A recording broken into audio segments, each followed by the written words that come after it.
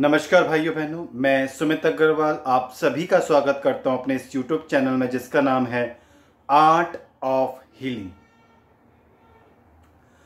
आज हम बात करेंगे और हीलिंग की, एक टेक्निक के बारे में, जिस टेक्निक का इस्तेमाल करके, प्रयोग करके हम अपने घर की, अपने ऑफ़िस की और को हील कर सकते हैं और को पॉजिटिव कर सकते हैं, और पॉजिटिव सिचुएशंस को अपनी लाइफ में अट्रैक्ट कर सकते हैं। करना क्या है आपको? आपको थोड़ी सी सरसों लेनी है। पीली सरसों हो या काली सरसों हो। और ये लेना है आपने, जो ये उपाय करना है आपने आपने करना है अमावस्या के दिन। जी हाँ अमावस्या की रात को ये आपको उपाय करना है। पीली सरसों लेनी है आपने, और उसको अपने लेफ़्ट हैंड पे पीली सरसों को रखनी है। थोड़ी सी मुट्ठी भर आप ले सकते हैं, या थोड़ी से कम। आपने अपने लेफ़्ट हैंड में रखी, ऐसे पाम में अपने लेफ़्ट हैंड में रख ली। और अमावस की रात को आपने क्या करना है? उस पीली सरसों को अपने घर के सभी कॉर्नर्स में फेंकना है, ऐसे, फेंकना है लिटरली इस तरह से, ऐसे कॉर्नर्स में फेंकना है। घर के जितने भी ही कॉर्नर्स हैं।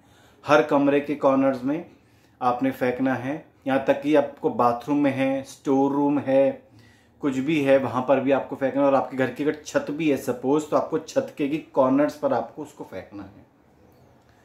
अगले दिन, अमावस के अगले दिन, रात को आपने फेंक लिया, फेंकने के बाद अपना, अपने हाथ बात धो लिया अपना, उसके बाद आपको सोना है या टीवी देखना है वॉट जो भी आपको काम करना है, वो अपना कर सकती हैं। ये अब उपाय जो है, खाना खाने के बाद करना है आपने।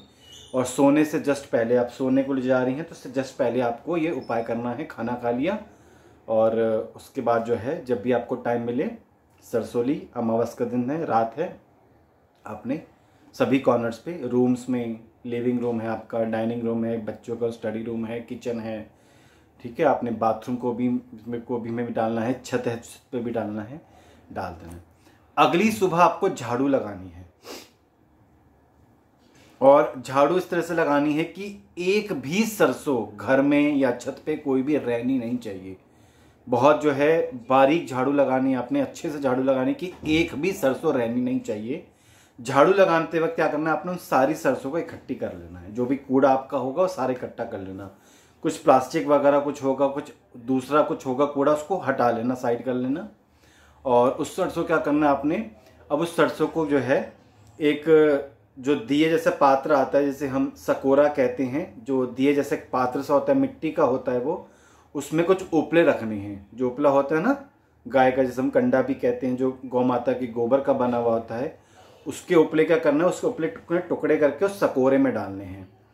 और सुबह झाड़ू लगाने के बाद वो पीली सरसों जो आपने इकट्ठी करी है, ये सकोरा और गाय के कंडे और थोड़ा सा कपूर और एक माचिस लेके पीपल के पेड़ के पास जाना है।